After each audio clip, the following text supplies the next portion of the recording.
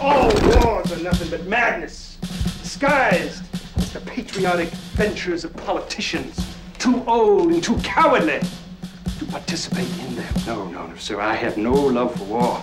Me neither. Even less for politicians. Amen. But as far as the men who fight them, they have my eternal respect.